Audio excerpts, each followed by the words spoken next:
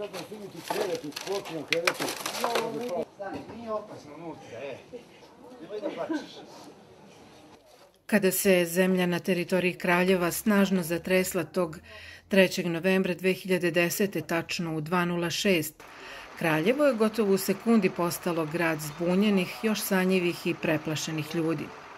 Prvi udar od 5,4 Richtera odneo je dva života, a mnogima domove i miran san – Oštećeno je, kako je kasnije procenjeno, oko 15.000 objekata, a povređeno oko 150 ljudi.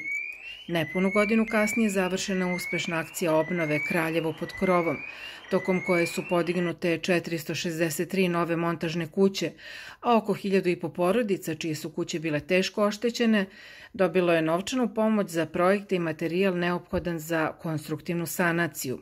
Vlasnici lakše oštećenih objekata, njih oko 11,5 hiljada, dobili su nadoknade čije visina zavisila od procenjene štete. Konstruktivno su sanirane 32 zgrade. Sredstva za popravku dobilo je i oko 7000 vlasnika stanova.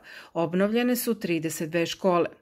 Nakon zemljotresa Kraljevo je dobilo više od 2,7 milijardi dinara, dok je u materijalu i robi doznačeno oko 550 miliona dinara.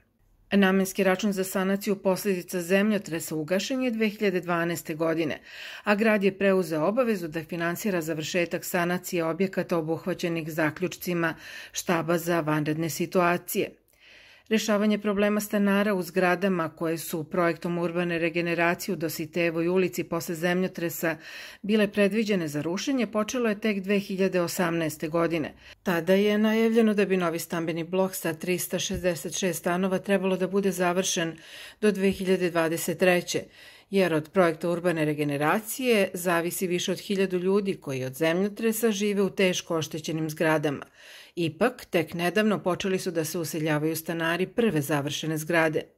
Nadležni najavljuju početak izgradnje druge, a bit će angažovan isti izvođač, preduzeće Ljuba Invest iz Paraćina.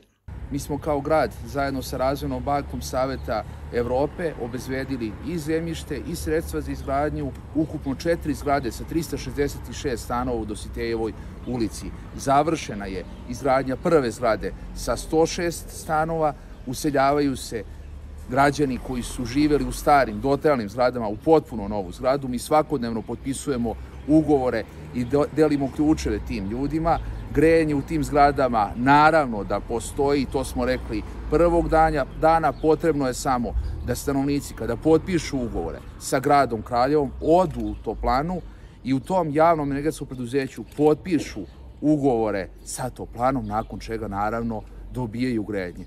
Mi smo tokom prethodne nedelje pustili grejanje u svim stanovima u ovoj zgradi i u njima imamo propisanu temperaturu u svakom od stanova. U rekonstrukciju internističkog bloka opšte bolnice Studenica posle zemljotresa uloženo je oko 90 miliona dinara, a projekat izgradnje nove zgrade Zavoda za javno zdravlje, koji je zbog teških oštećenja u zemljotresu morao da bude srušen, konačno je priveden kraju, kaže Vukosav Konjikušić, gradski koordinator za saradnju sa Kancelarijom za javna ulaganja. Pri kraju smo, ovaj, radovi su završeni, raspisali smo javnu nabavku, trenutno se radi tehnički prijem i energetski pasoš, radi nam jedna firma iz Beograda, oni su tu prisutni na terenu, usput otklanjaju određene napravilnosti i sve ono što može da bude prepreka da bi zgrada bila data korisniku na upotrebu.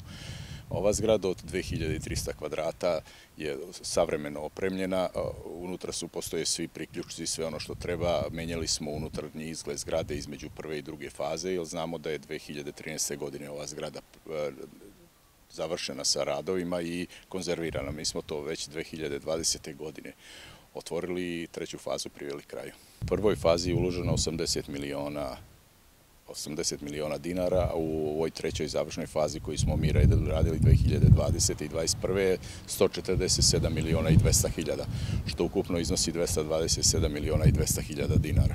Oprema, e, imamo projekat koji smo već spremili, vrednost opreme i laboratorijskog pribora i sve ono što treba da se opremi ovaj, ovaj veletan objekat iznosi oko 400 hiljada 400 hiljada evra. A mi se trudimo preko gradske uprave da konkurišemo kod nekih donatora, ali mislim da Ministarstvo zdravlja treba više da obrati pažnju i da oni isfinansiraju veliki deo ovog objekta.